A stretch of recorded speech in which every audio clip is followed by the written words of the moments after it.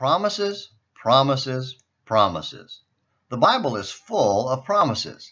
And as we learned yesterday, God kept his in the person of Jesus Christ. Let's spend our time together this morning looking at some key Old Testament promises that were kept by God. Long ago, in a galaxy far, far away, well, actually back in Florida nearly 40 years ago, I sat through a Bible class and learned five key Old Testament promises that pull the Old Testament and New Testament together. Honesty requires me to note that one fellow student said I've swapped one out and only have four of the five taught by our professor long ago. Well, I checked and he's correct.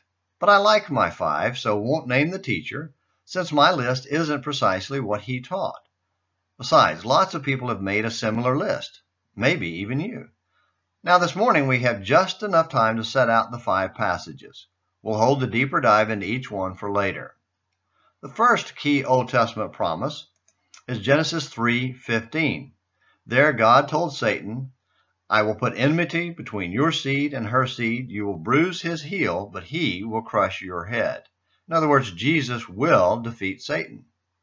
The second is in Genesis 12:3 where God told Abraham that in you all the nations of the earth will be blessed. In other words, Jesus isn't just for physical Israel. The third is in Deuteronomy chapter 18, verses 15 through 19, where Moses told Israel that God would speak to them through prophets, and in particular, a final prophet. Jesus is that final prophet. The fourth key prophecy is in 2 Samuel chapter 7, verses 12 through 16. There, God promised to give David an eternal throne for David's son, who would also be God's son. Again, that would be Jesus. The fifth key promise is found in Jeremiah chapter 31, verses 31 through 34, where God promised a new covenant. Jesus brought that covenant into being with his death and resurrection.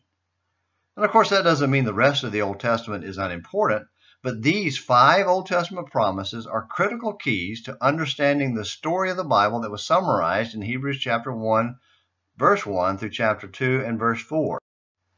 God has spoken to us in his Son about a great salvation. Tomorrow we will start with Genesis 3:15.